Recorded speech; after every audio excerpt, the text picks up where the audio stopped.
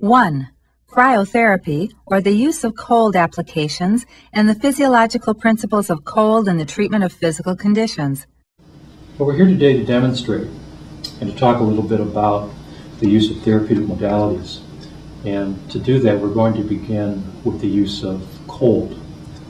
Now, determining whether and when you're going to use cold or heat is not always clear cut. But certainly in cases of infl inflammation and heat, you want to use cold therapies. And so what we're going to do today is just model the use of a cold therapy uh, on an elbow condition. So we have our subject uh, positioned comfortably in a sideline position on the table.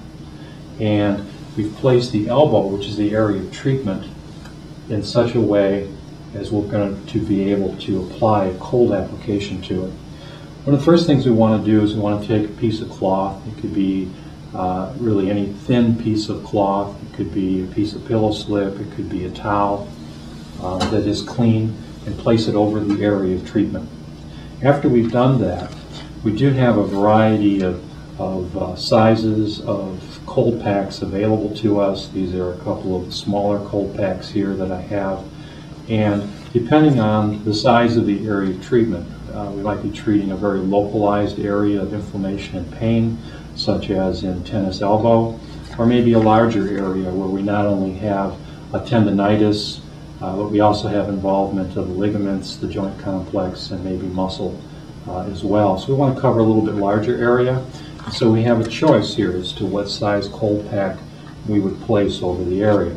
Again, a smaller cold pack uh, for a, a, you know smaller, more circumscribed area of treatment, or maybe a larger cold pack. And of course, cold packs come even larger than this, where they would cover uh, the entire uh, upper arm, even the shoulder region, along with the elbow, if that became if that became necessary. The cold pack is simply placed over the area, and then we like to lay, and it could be uh, anything from uh, one, two, three, four layers of toweling over the cold pack as an insulation to help retain the cold and make sure that the cold itself is delivered to the treatment area. Now in some cases, uh, we might even want to place a, uh, uh, a weight of some kind, so we utilize uh, these packs, which also serve uh, a second duty as a hot pack. Uh, this particular pack here is microwavable, but in this case, we of course have not heated it, since we're doing a cold application, but we might just want the weight over the cold pack in order to help hold the cold pack right up against the area of, uh, of, of treatment. The physiological effects of cold therapy may include it decreases pain, decreases edema, decreases acute or chronic inflammation, decreases muscle spasm and nerve spasticity, and decreases circulation or increases circulation, slows down cellular metabolism, an analgesic effect on trigger points.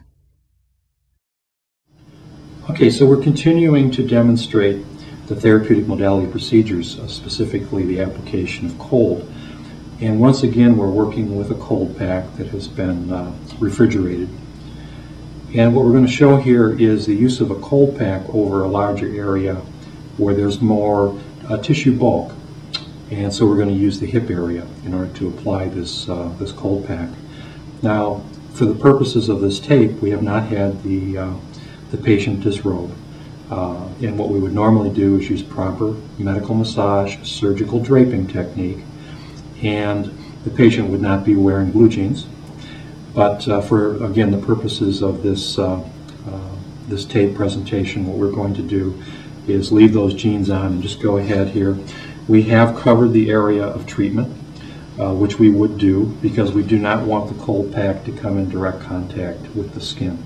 The concern there is that it would be uncomfortable to the patient, it would create more of a burning sensation in the skin, and the possibility of frostbite, and all of those negative aspects of the treatment we want to avoid. So once again, we've covered the area, which normally uh, this pillow slip that I'm using, or I could be using a towel, uh, would be directly over the exposed skin. Then I would simply place the cold pack on top of that area there, again with this barrier here, like so. And then once again to insulate and to retain the cold uh, for as long as possible, keeping in mind that uh, my treatment period is going to uh, last something like uh, 15, 20 minutes of cold application to the hip area. I would then place more toweling on top of that. Now, I'm going to take this another step because now I, what I have done is I have, have placed my, my skin protective barrier, I have placed my cold pack, and I've placed toweling over that to insulate that and to keep the uh, cold in. But I can take this another step and I can add to this procedure uh, a percussion. And percussion or vibratory therapy actually will be uh, explained later on uh, in this presentation. But since we're doing the cold and we have her set up for the cold, we might as well go ahead and do that at this time. Now, to protect the skin from the percussion instrument itself, and I will be using a thumper in just a moment, we will place several layers of toweling to act um, as a shock absorber, if you would. Then we'll take the percussion instrument, which in this case is called the thumper, and we'll place it directly over the area.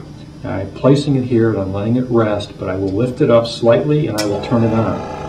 Then I will lower it and I will slowly press into the cold pack and into her hip. And then I'll ask her if that feels okay, if it's comfortable or uncomfortable. Mm -hmm. And she'll tell me affirmatively that it's just fine. And then I will carefully move it around the area and I'm going to have to support all of these materials, and that's support towel and cold pack and my draping materials, all going to have to be supported. And I'll very carefully and slowly circle this. So what I've combined here is I have combined cold therapy with a nice gentle percussion over an area. And when would you use this? Well, you'd use this in an area where you have perhaps acute inflammation, where there is pain and there is swelling or edema in the tissue, there is stiffness in the tissue, perhaps uh, protective muscle spasm, and you would use that to help to relieve all of those conditions.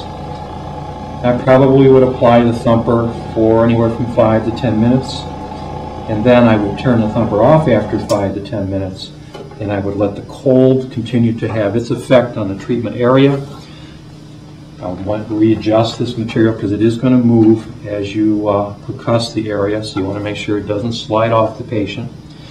And then I'll go back and I'll take and I'll apply this gentle weight here again, right over the area of treatment to make sure that everything stays in place. Plus that the weight of this pack just kind of helps press that cold right into the area of treatment.